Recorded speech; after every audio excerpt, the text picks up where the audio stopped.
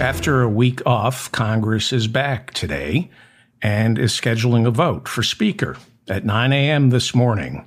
Tuesday night, the Republican caucus held a candidates forum where the two leading candidates for Speaker, Majority Leader Steve Scalise and Chairman of the House Judiciary Committee Jim Jordan, they made their case for why they deserve 217 votes to become Speaker of the House. Now, remember, all it takes is five renegade Republicans, and they don't have a nominee to send down to the floor for a vote. Marjorie Taylor Greene came out of the meeting late Tuesday night and said neither one of them has 217 votes. Now remember, the House is split with Republicans getting 221 votes, Democrats getting 212.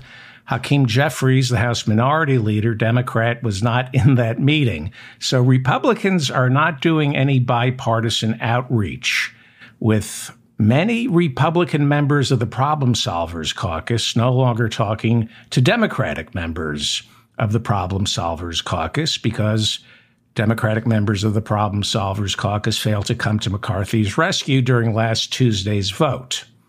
In order to get some business done, Republicans tomorrow or later today or tomorrow may decide to elect Patrick McHenry, who is currently the acting Speaker pro tem. They may decide to elect him a full Speaker pro tem, which would give him some maneuverability to get to work on a budget, but he is anything but a leader.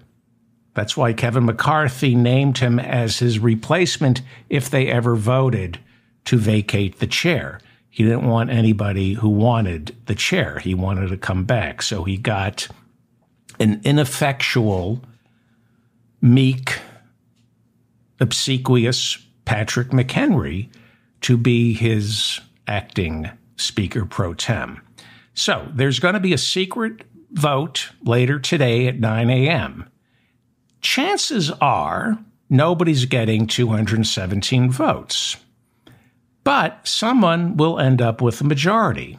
It's either going to be Steve Scalise or Jim Jordan who ends up with a majority. That's not 217 votes. And remember, the Republicans have kind of made a promise that they wouldn't bring a vote for Speaker to the floor unless they knew they had 217 votes because they don't want a repeat of what happened in January when it took 15 rounds for McCarthy to become Speaker. So somebody's going to get a majority later today. They won't get 217 votes, but Scalise or Jordan, one of them gets a majority.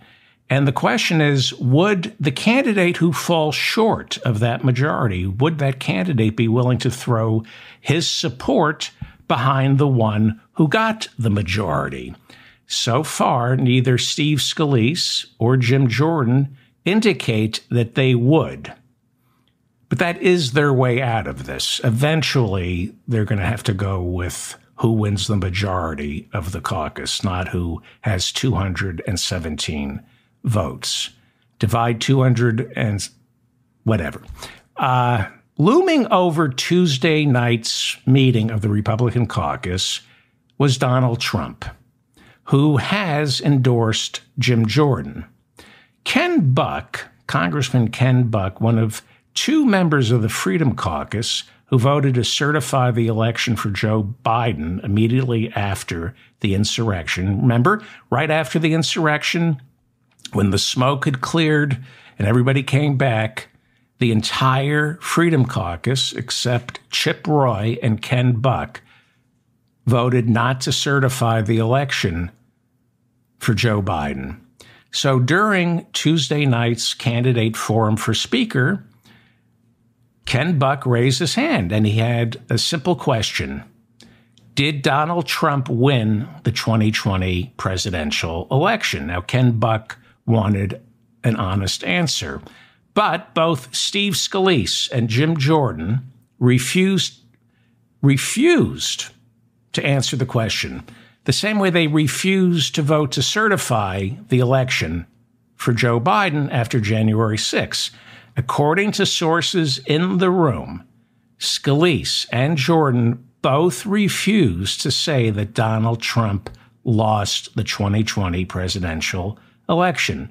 130 Republicans in the House, including then Minority Leader Kevin McCarthy, voted to refuse to certify the election for Joe Biden after the insurrection. And the fact that both candidates for Speaker Tuesday night refused to disentangle themselves or the party from Trump speaks volumes to what the Republicans have turned into. It is a party of tough talking cowards who refuse to stand up to the man who goes against everything they stand for. Donald Trump has been found to be a rapist. The judge said as much. He's not even close to being a billionaire. We don't even know we don't even know if he has any cash. He is a complete fraud, a charlatan, and everyone in this Republican caucus knows that. But while they're so busy talking tough, saying, let's go into Iran, drop some bombs, bring back the death penalty, very few of them, especially the two candidates for Speaker, have the courage to call Donald Trump what he is a fraud. This is exactly how parties get destroyed, and sometimes nations. I'll have more on this later on in the show, but first, I have a correction.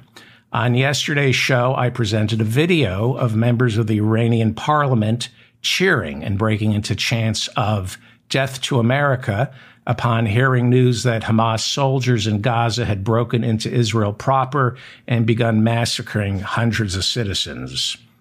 I was wrong. The video in question is more than three years old and dates back to January of 2020 when Donald Trump ordered a missile strike, assassinating one of Iran's most beloved military figures, General Qasem Soleimani. For some reason, the video ended up in one of my feeds a feed that I consider reliable, but obviously it isn't. Much like right after 9 11, there are people itching to bomb countries that had nothing to do with the tragedy at hand. Parliament, the Iranian parliament, was not screaming death to America over the weekend.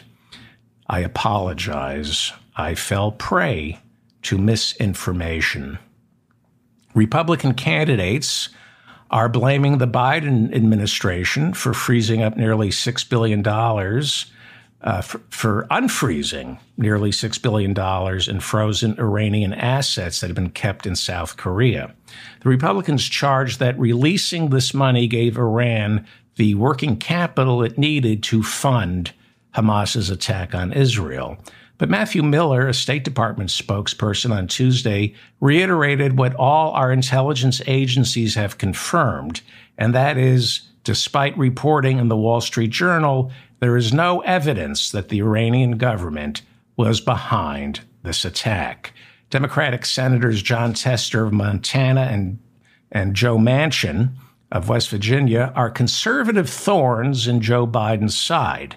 On Tuesday, they said they were teaming up to introduce a resolution calling on the Biden administration to refreeze Iran's $6 billion, begging the question if Iran used that $6 billion to fund the attack on Israel, then how can you refreeze it? It's been spent.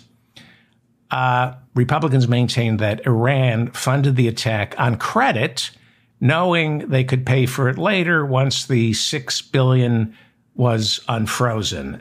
When asked if he would like to refreeze Iran's $6 billion, Senate Minority Leader Mitch McConnell stared blankly into space until his colleagues ushered him away. Senator Tim Scott is a Republican candidate for president. He's making the rounds, insisting Joe Biden is more to blame for the attack on Israel than Hamas is. Scott said that when Biden agreed to unfreeze the Iranian assets for a swap of prisoners, he sent a message that we negotiate with terrorists, and that opened the door wide open for Hamas to invade Israel. Here is Senator Tim Scott on CNN with Wolf Blitzer, who asked Senator Scott about one of his more vicious tweets this week attacking Joe Biden. Biden's weakness invited the attack. Biden's negotiation funded the attack. Biden administration wanted Israel to stand down after the attack. At this point, Biden is complicit. Kind of rough, more of Tim Scott and Wolf Blitzer. Senator, are you at all concerned that these sorts of charges undermine efforts to be united right now here in our country in support of Israel? Well, I think we should be, without question, totally and completely united behind Israel, period. We should, without question, be united behind Israel, period. United behind America, question mark. We should look back at the breadcrumbs that lead back to the hostage negotiation that freed $6 billion.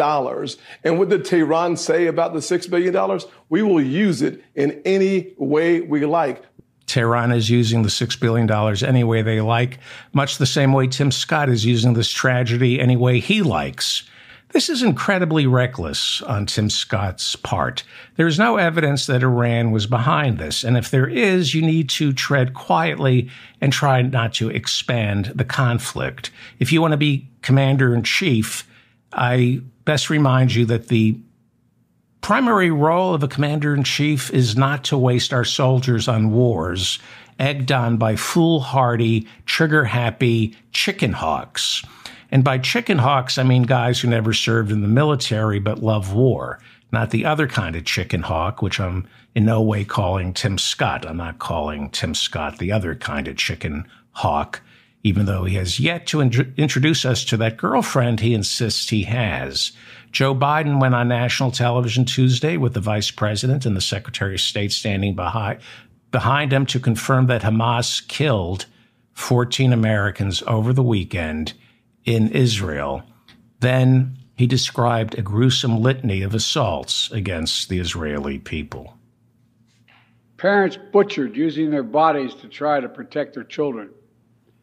Stomach turning reports of being, babies being killed. Entire families slain. Young people massacred while attending a musical festival to celebrate peace. To celebrate peace. Women raped, assaulted, paraded as trophies. Families hid their fear for hours and hours, desperately trying to keep their children quiet to avoid drawing attention. We need to be careful here. I choose to read about this instead of watching the pictures or the videos on television. There's been something of an insistence by some that we bear witness to all these horrors that happened and are continuing to happen in Israel. I get that but I worry the visuals border on terror porn and cloud our judgment. What are you glued to the television for? Are you glued for information or are you glued to the television so you can feel something? If you're watching the news to feel something, I strongly urge you to turn it off and pick up a book. At some point, the World Trade Center towers coming down in continuous loop on our television screens might not have served the national interest. It made us fearful, angry, sad, and therefore prone to George W. Bush's craven warmongering cloaked in faux patriotism.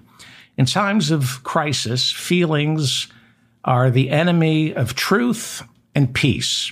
The same way you don't have to have an opinion, a hot take on everything that happens in the news, you don't always have to feel something. You need information.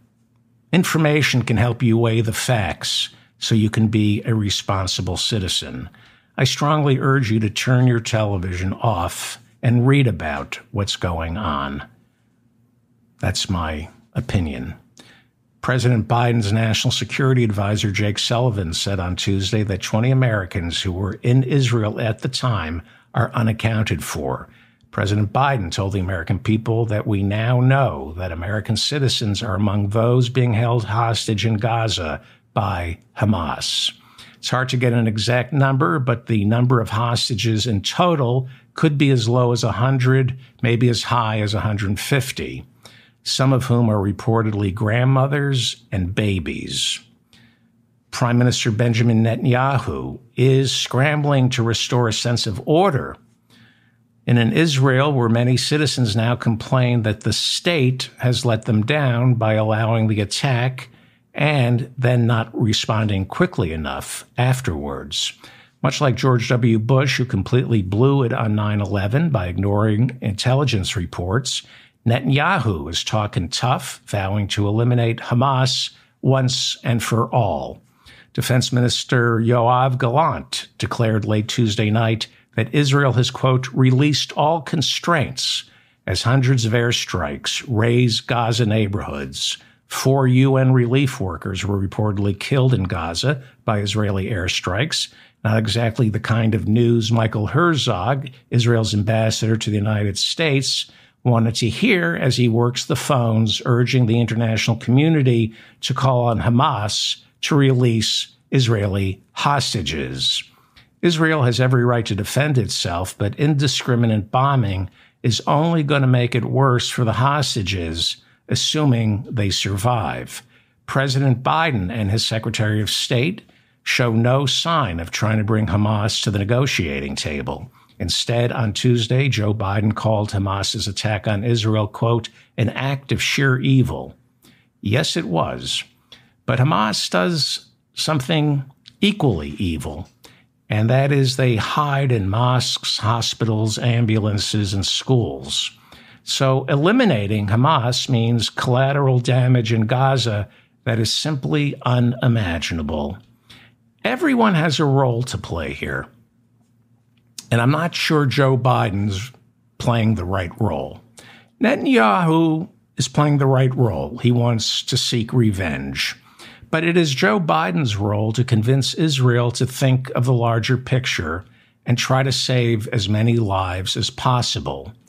Of course, Israel is going to hit back, but it is Biden's responsibility to counsel temperance.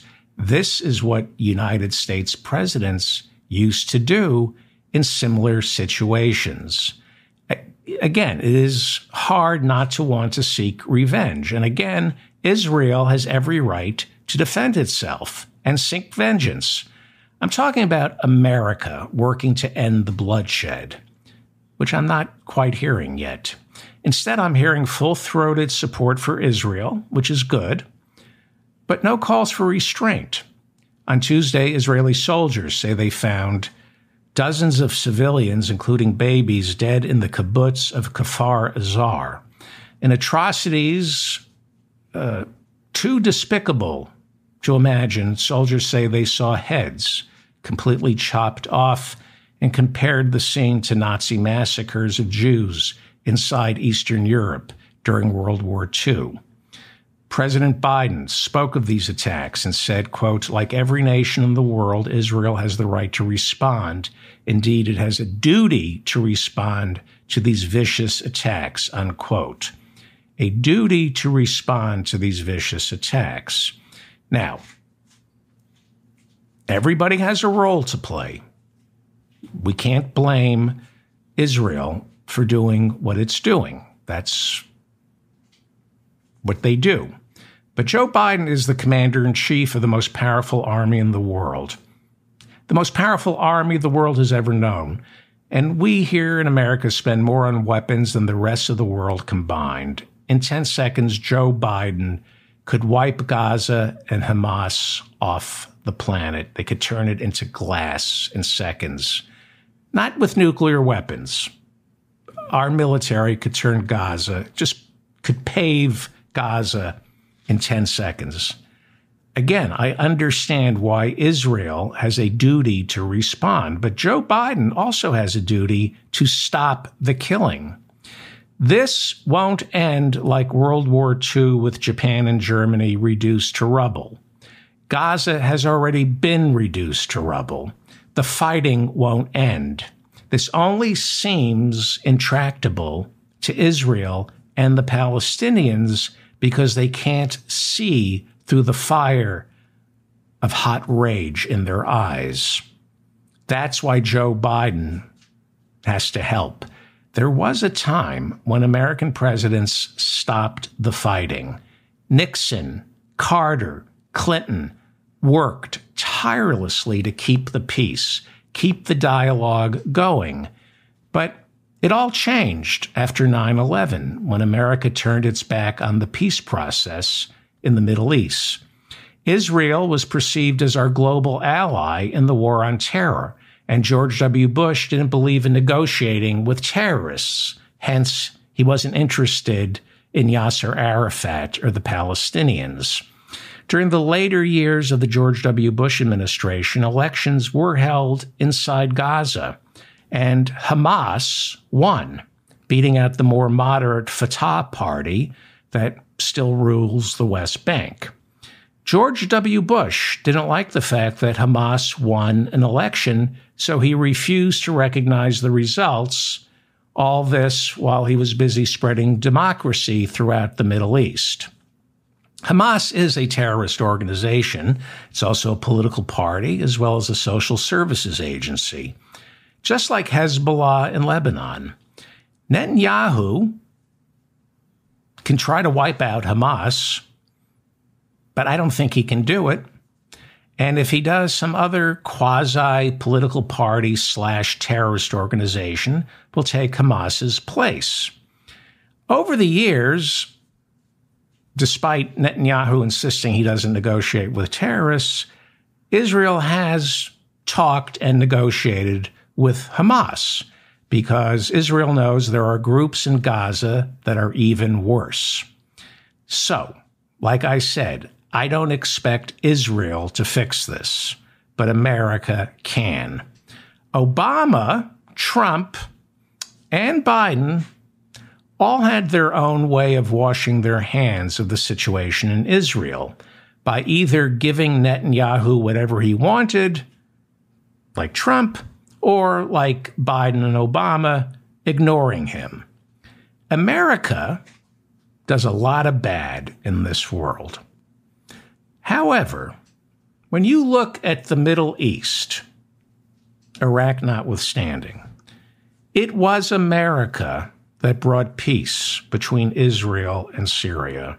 It was America that brought peace between Israel and Jordan.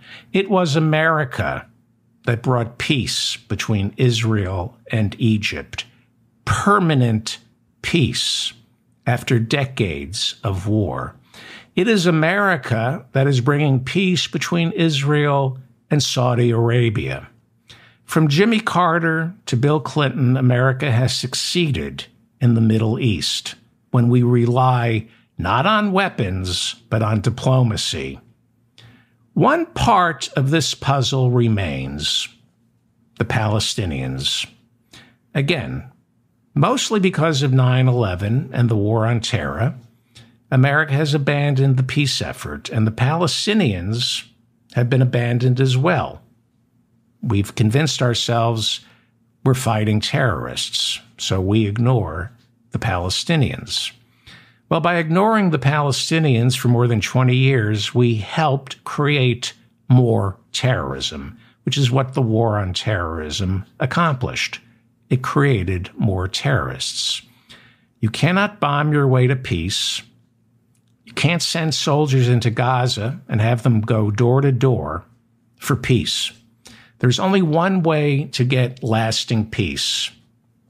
It's the same way America secured lasting peace between Israel and Syria, lasting peace between Israel and Jordan, lasting peace between Israel and Egypt. One way diplomacy and paying them billions of dollars in foreign aid not to fight. That also helps. You throw in a couple of billion dollars a year, suddenly they stop fighting. Israel's Iron Dome is is been built to knock incoming missiles out of the sky, and yet the missiles are still landing. Each anti-ballistic missile from Iron Dome costs about forty thousand dollars, and there's simply no way the Israelis can shoot down the thousands of tiny rockets fired from Gaza. Israel says it's running low on munitions for Iron Dome. And on Tuesday, Biden promised to replenish their stockpile immediately. $40,000 per anti ballistic missile. Imagine if you bought peace. Imagine, imagine what $40,000 could buy in Gaza, could buy a lot of pacifism. One American aircraft carrier has been moved into the region. Jake Sullivan, America's national security advisor, said on Tuesday that Joe Biden might order in a second aircraft carrier during a question and answer session at the White House. Sullivan said, quote, let me be clear. We did not move the carrier for Hamas. Gaza's population of nearly 2.5 million has been living under a 16 year blockade where both Israel and Egypt control the flow of food, fuel, water, and electricity.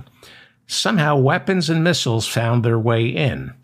Egypt, which has drawn much closer to Israel in the past several decades after years of war, assured Israel on Monday that they were not assisting Hamas in the flow of weapons into Gaza.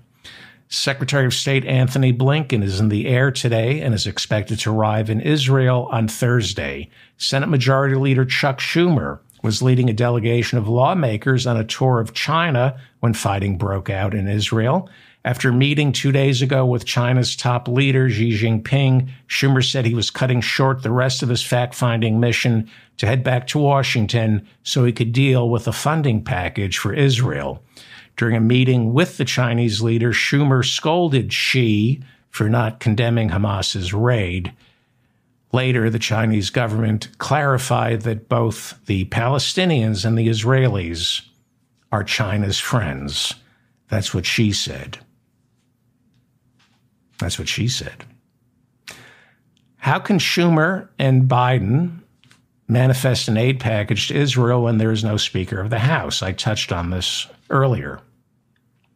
All spending bills emerge from the House of Representatives. And even if Biden, McConnell, and Schumer cobble together a spending package, there's no speaker to bring it to the floor for a vote. There is an acting speaker, Patrick McHenry, but House rules demand that his role is ceremonial and the only power he has is to get a new speaker elected but there's now talk of making him a acting full speaker pro tem. He said, McHenry, on Tuesday, that there might be some wiggle room here. There might be political will inside the House to test the rules to see if they can get an aid package passed if the Republicans can't agree on a speaker later today.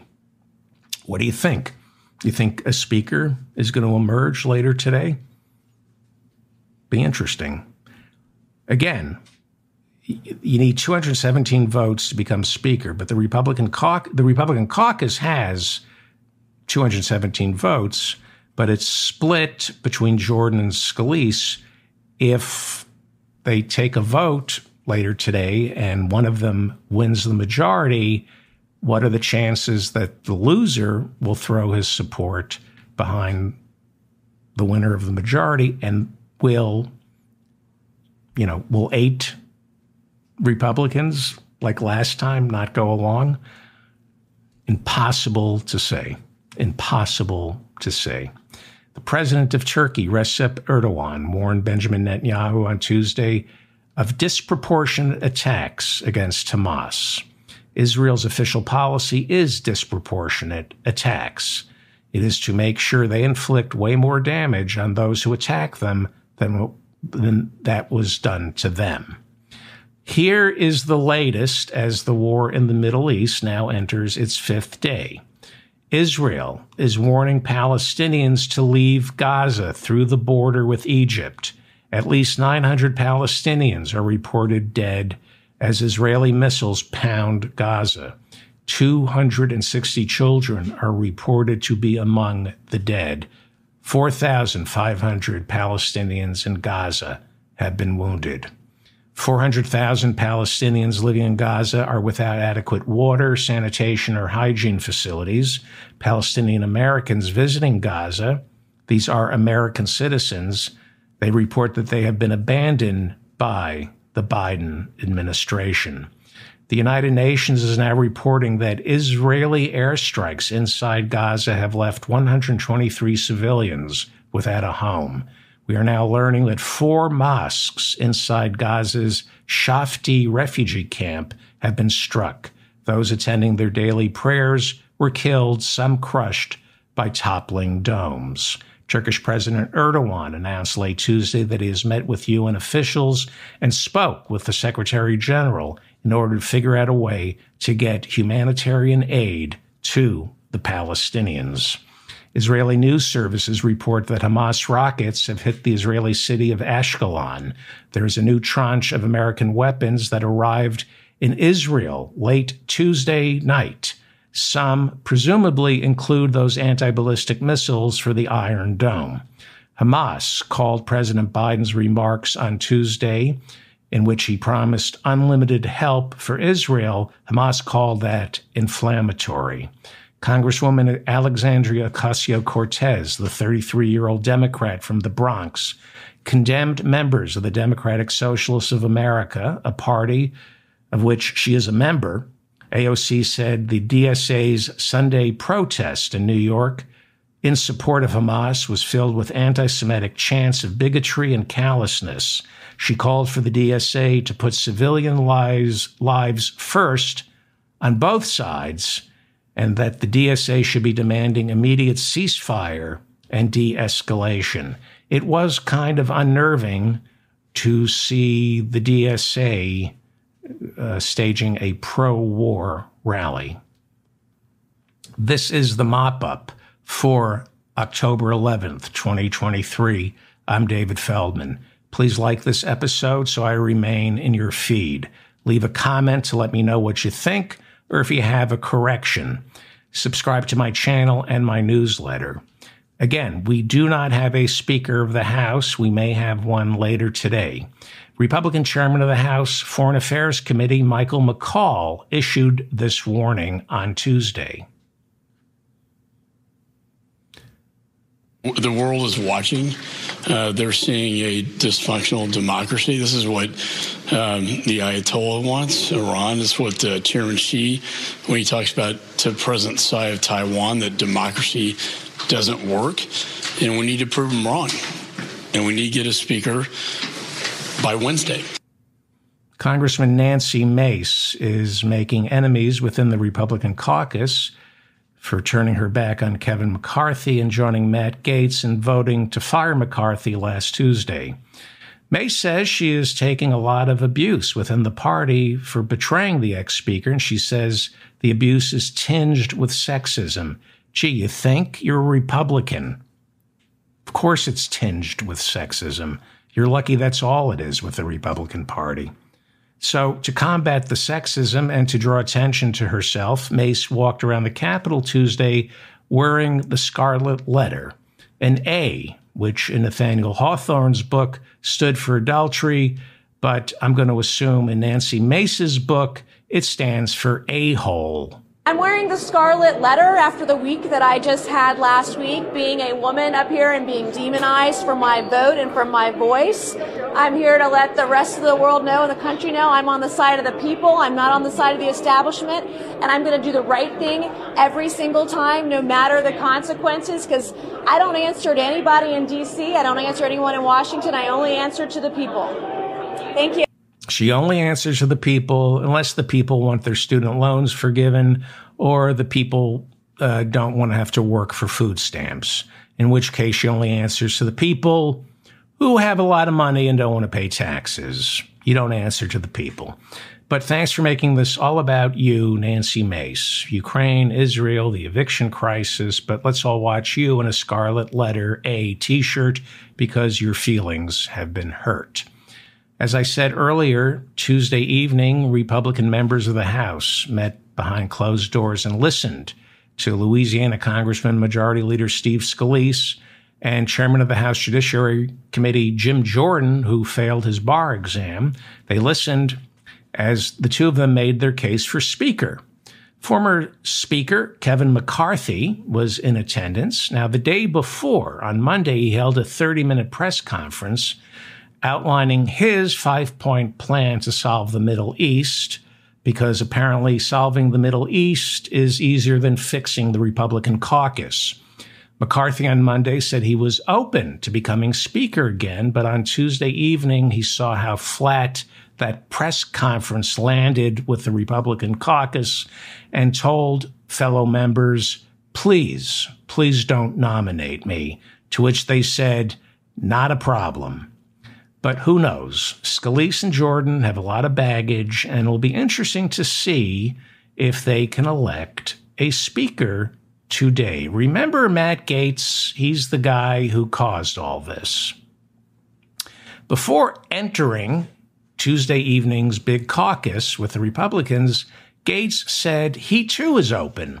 He's open to Scalise or Jordan to becoming Speaker, but he didn't endorse either one because they probably asked them him not to, right? They don't need his kiss of death. Gaetz said he would be willing to negotiate a House rules package that raised the number of members required to bring a motion to vacate the chair from one to possibly as high as 10.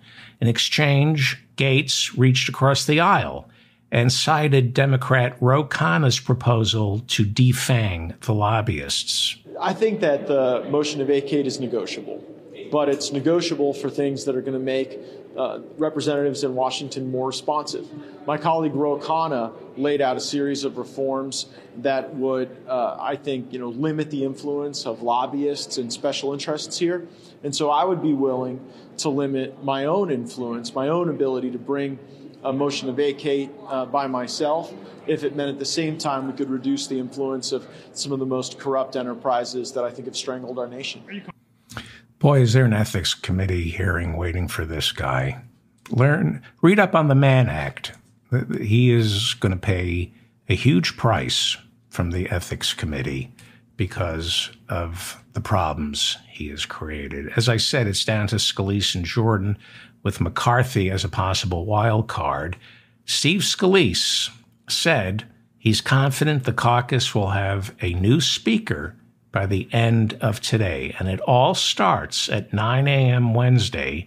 In a few hours, the entire Republican caucus will convene behind closed doors and hold their first round of secret ballots. Supposedly, the consensus is we don't take a nominee to the floor for a full House vote unless the caucus knows it has the requisite 217 votes beforehand. Like I said, the last thing they want is a repeat of last January when McCarthy went 15 rounds before winning. All it takes is five Republicans in that room not to make it unanimous. What do you think? Will we have a speaker by tonight? Leave a comment. Will we even have a vote tonight? New York Congressman George Santos is already under indictment and on Tuesday, he was handed 10 superseding indictments. The new criminal counts accuse him of stealing credit card numbers from. Sorry. You know, the news has just been so sad and depressing. And then, eh, do we really want to get rid of George Santos? Don't we need him? The new criminal counts accuse George Santos of stealing credit card numbers from the people who donated to his campaign and then making purchases for himself while running up charges that were tens of thousands of dollars. I mean, if you donate to George Santos, weren't you like implicitly giving him permission to use your credit card? To go to TJ Maxx and buy stuff. I don't know. Santos already faces criminal charges for embezzling from his campaign. Yeah, but it's been fun. We're going to miss him.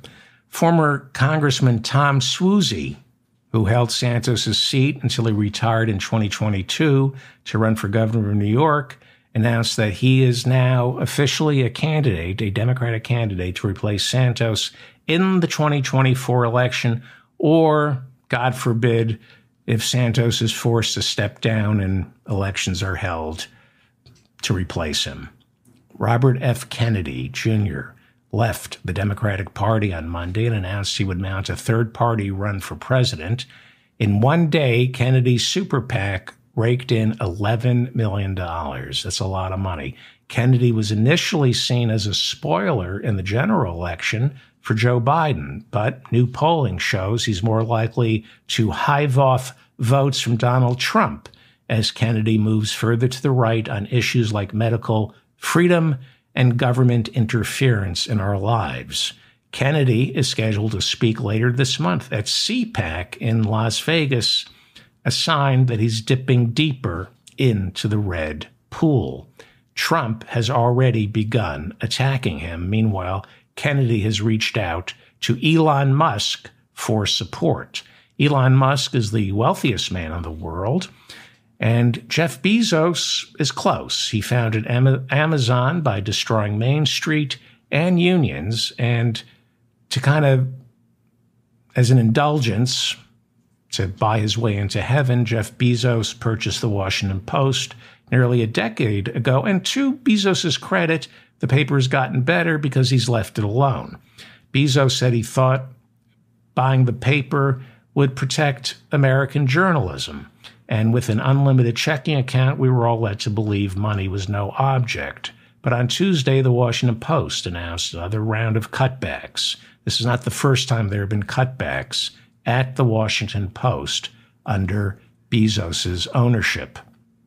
240 jobs at the Washington Post will be slashed. Not all of them are in the newsroom. This is going on as newspapers around the country shutter and journalists find it increasingly difficult to earn a steady paycheck, which is exactly what oligarchs like Jeff Bezos and Elon Musk want.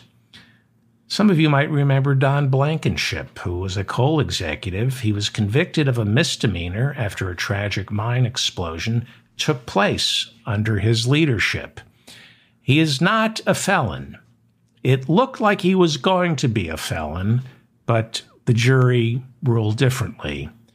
When he ran for Senate in West Virginia, his slogan was, I'm not a felon. When he ran for Senate in West Virginia, several news organizations referred to him as a felon. And after he lost the election, he sued those news organizations for libel because he said, I'm not a felon. I was convicted of uh, a misdemeanor. Didn't people die? Well, well, let's. Anyway, uh, so he sued several news organizations because they referred to him as a felon. He sued them for libel. A lower court threw the case out. They they ruled against him. They said the news organizations did not intend malice when they referred to him as a felon and he appealed his case to the Supreme Court, which on Tuesday refused to take it. They upheld the lower court, court ruling. In a concurring opinion, Justice Clarence Thomas said Blankenship's case did not reach the level of libel. But then Clarence Thomas said he was willing to go on a fishing expedition for a case that would overturn New York Times versus Sullivan, which for decades has served as an almost blanket protection for the American press, where reporters can write the news without fear of getting sued for libel. Judge Thomas, much like Donald Trump, wants to make it easier to sue news organizations for false statements, for mistakes. On Tuesday, Thomas wrote that New York Times versus Sullivan allows media organizations and public interest groups to cast false, false aspersions on public figures with near impunity, mm, like ProPublica reporting about your hundreds of thousands of dollars in free vacations. See, people like Thomas or Donald Trump are all in on freedom of speech when it comes to saying bad things about the LGBTQ community or black people, Arabs. Uh, but when it comes to journalists, they're all in on the cancel culture. Don't be surprised if Donald Trump sues Forbes magazine for leaving him out of their annual list of the 400 richest people. Trump on Tuesday insisted he belonged on the list and accused the magazine of conspiring with, quote, the racist New York State Attorney General, Letitia James. Letitia James's civil suit against Donald Trump entered its second week on Tuesday. Trump has already lost most of this case after the judge two weeks ago ruled from the bench that Donald Trump inflated the value of his properties by hundreds of millions of dollars in order to secure loans from banks. The judge, therefore, found him guilty of fraud and ordered Trump to surrender his business license and place all his New York shell companies into receivership so they could be dissolved. The judge ordered Trump to turn over his properties by this week. But then he granted Trump a waiver on Friday, saying that Trump is going to appeal this decision, so it's better for the appeals court to force his companies into receivership. On Tuesday, Trump's former chief financial officer, Allen Weisselberg, he was working for Trump, I think, a year ago, finally left because he had to go to prison. Uh, Allen Weisselberg, Trump's former chief financial officer, took the stand and admitted that over the years he authorized financial documents that listed Trump Tower by as much as three times what it was worth. Weisselberg testified that Trump was aware he was doing this, but couldn't quite remember if Trump signed off on the final documents. Weisselberg served 100 days at Rikers Island this year for tax fraud. During testimony, he said since he was released from Rikers, he suffers from insomnia and has been prescribed Valium by his psychiatrist, a psychiatrist he just started to see. It's too bad he didn't see that shrink decades ago before deciding to work for Fred Trump and his idiot son. Weisselberg is in his late 70s. He is both a witness for the prosecution in this trial as well as a defendant. In other words, he's partially flipped. The more valuable his testimony, the less likely he'll do more prison time. In the civil fraud trial in New York, the judge slapped Donald Trump with a gag order last week, warning him to stop attacking the people who work inside the courtroom. Trump obeyed that order. Later this week, special counsel Jack Smith and Trump's attorneys will go before Judge Tanya Chutkan in a Washington, D.C. courtroom to argue Smith's motion to issue a gag order preventing Trump from talking about the 2020 presidential election interference trial. On Tuesday, Smith filed a motion asking the judge to protect the identity of prospective jurors in the case warning Trump has a record of intimidation. Smith says he worries for their physical safety. Special counsel Smith is asking that the jurors during the voir dire process, that's when the attorneys are picking jurors, during that process, the jurors, prospective jurors, fill out written questionnaires instead of appearing in person. And instead of their names, they should be assigned numbers. This level of intimidation, unprecedented. Smith also filed a motion wanting to know if Trump's attorneys are going to mount an, mount an advise of counsel defense. It's called an advice of counsel defense. I'll explain what that is. Smith has reason to believe that Donald Trump is going to claim that everything he did to interfere with the 2020 presidential election was because he was given faulty advice by his attorneys, Rudy Giuliani, John Eastman, Kenneth Chesebro, Jenna Ellis, and Sidney Powell. Smith, in Tuesday's motion, said that 25 key witnesses in his case have refused to testify, claiming attorney client privilege. In other words, someone like Rudy can try to claim that what he saw and what he heard is privileged because Donald Trump was his client. But if Trump mounts the bad lawyering defense, then those 25 witnesses who refuse to testify will not be able to claim attorney client privilege because what they told Trump is germane to his defense.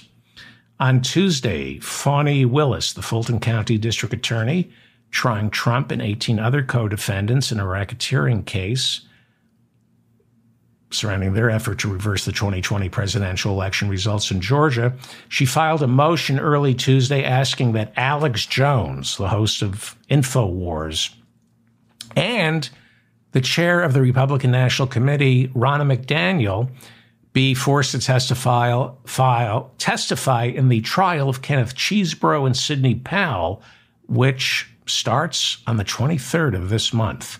Chesebro and Powell are two of Trump's lawyers and are co defendants in the RICO trial.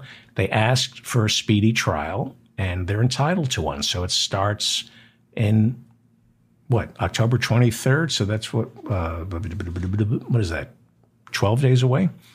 Uh, Alex Jones said there was no way he would testify in this case, but late Tuesday, Scott McAfee, the presiding judge in the case, granted the request and has ordered Ronna McDaniels and Alex Jones to testify. In his ruling, Judge McAfee said Alex Jones was a material witness since Kenneth Chesebro accompanied Jones as Jones whipped up the mob on January 6 outside the Capitol. He also ruled that Ronna McDaniel, as chair of the Republican National Committee, was familiar with the memos written by Chesebro outlining the phony elector scheme. According to the January 6 report, Ronna McDaniel, she's the, still the head of the Republican National Committee, assisted Trump and his lawyers in finding phony electors in several swing states. On Tuesday, Fani Willis also challenged Kenneth Chesebro's motion to throw out as evidence his memos outlining the phony elector scheme. Chesebro claimed they were protected by attorney client privilege. Last week, Chesebro's attorneys filed a motion to suppress the emails claiming the government didn't use a proper warrant when they seized them from his email account. Kenneth Chesebro does not want his memos entered into evidence. Since we're in Atlanta, police officer Kiran Kimbrough was fired on Tuesday for tasing a 62 year old black church deacon who later died. Johnny Hollman died last August after the cop arrived on the scene of a minor fender bender and tased him to death. Olivia Troye, who served as Vice President Mike Pence's Homeland Security advisor, told ABC on Tuesday that Donald Trump privately ridiculed his supporters. Troye said Trump would make fun of the people who showed up at his rallies. He would make fun of them for donating to his campaign or purchasing any of the products his idiot children were selling. Troye also said that Peter Navarro, Trump's economic advisor, found guilty of contempt of Congress last month. She said that Peter Navarro got physically violent with her. Troye said Navarro grabbed her arm forcefully to take some documents from her and that she was not the only woman in the Trump White House that Navarro got rough with. She said, quote, he has the violence in him. Troye added, that whenever Navarro disagreed angrily with a woman staffer, he often found a way to call her a prostitute. What are these, like five year olds? Well, dangerous five year olds. On Tuesday, five women sued Tim Ballard for sexual assault. Ballard is a former Homeland Security agent who founded Operation Underground Railroad that purportedly rescues children from human trafficking. He quit the organization amid allegations of sexual impropriety. Ballard has become a beloved figure in the conservative Christian movement. His movie, based on the exploits of him tracking down and saving young people from human trafficking, the movie is called Sound of Freedom and it is one of the highest grossing independent films of all time. QAnon calls it the feel good movie of the year. Every one of them is completely full of shit. All these people on the right, they are completely full of shit. I'm David Feldman reminding you to stay strong and protect the weak.